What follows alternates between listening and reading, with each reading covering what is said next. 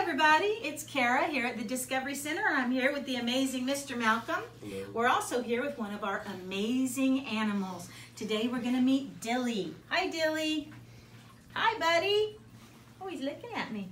So Dilly is a Saharan Uromastyx. That's such a cool word. It's such a neat name. Sounds like the name of a band, doesn't it? The Uromastyx.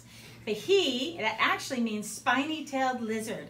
And Dilly lives in North Africa where it gets very, very hot.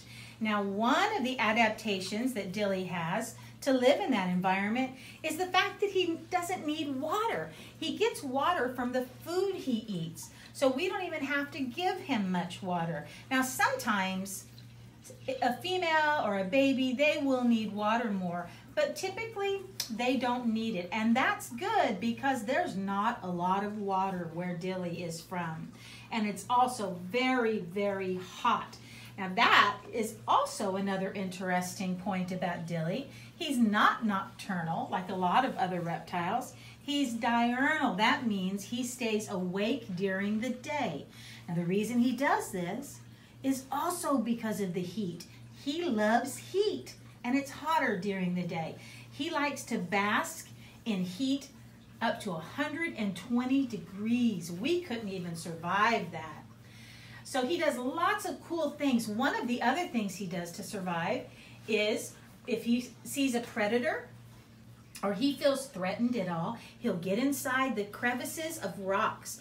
He'll flatten his body down and then he gets in there and he'll puff it back up. So he's wedged in and the predator can't pull him out except for his tail. He doesn't have to make sure his tail gets in there because he has a very, very spiny tail covered with sharp scales. And a predator couldn't even bite that. It would hurt them too badly.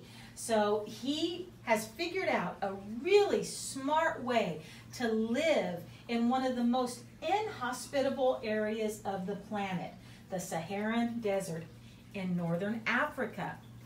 He does that by not needing a lot of water and by being able to hide in the cracks that he can find to keep away from predators. I think Dilly's pretty smart, don't you, Mr. Malcolm? I think he's incredibly smart. And he looks pretty fast, too.